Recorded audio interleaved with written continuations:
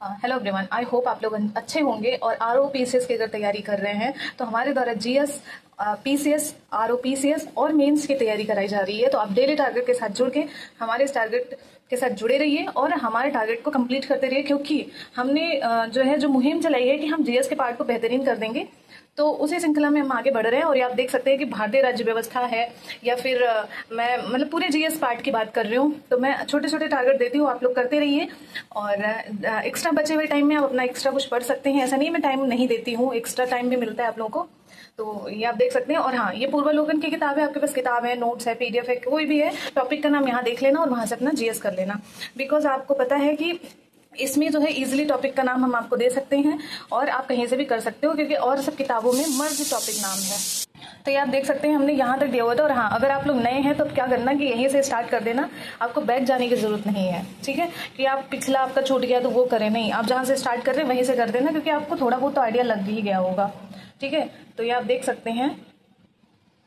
मैंने यहाँ तक दिया हुआ था, कार्य संचालन एवं विधायी प्रक्रिया आपको आज करना है। ठीक है? और उसके साथ साथ संसदीय समितियाँ। तो ये थोड़ा बड़ा है तो ये संसद हमने दे दिया था। आज आपको संसदीय समितियाँ करना बहुत इंपॉर्टेंट है, संसदीय समितियाँ। तो इसे कर लेना, इसीलिए हम ज़्यादा इसमें और एड ऑन नहीं कर रहे हैं। बस संसदीय समितियाँ आपको जीएस में करना है। साथ ही साथ आपका रहने वाला है साइंस का दे रहे हैं, क्योंकि एक सब्जेक्ट हम पढ़ के बोर होने लगते हैं और इतना छोटा टारगेट एक देने के बाद एक और देना ज़रूरी होता है। तो आप देख सकते हैं हमने इसमें फिजिक्स स्टार्ट किया हुआ था। तो फिजिक्स में आप देख सकते हैं, हमने यहाँ तक दे अब हम आपको इंपॉर्टेंट टॉपिक देंगे, ना कि हम पूरा देने वाले हैं, ठीक है? तो आप क्या करोगे, ये ध्वनि से आपके पूछी जाती है तो ध्वनि कर लेना। और उसके बाद जो है आप नाभिकीय भौतिक कर लेना, ठीक है?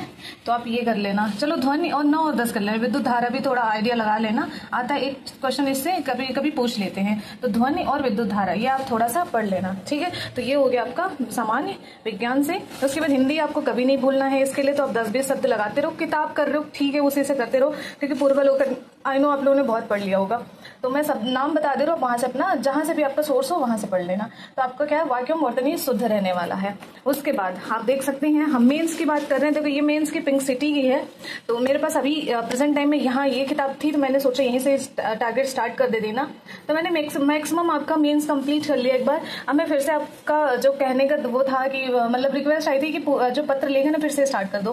तो मैं पत्र लेखन फिर से स्टार्ट कर दे रही हूँ, ठीक है? और इसका पीडीएफ मैंने पहले भी भेज दिया, फिर से मैं भेज दूँगी। तो पत्रों का वर्गीकरण आपको करना है। इसके बारे में जानना है पत्र लेखन की आधारभूत बातें क्या होनी चाहिए वो जानना है।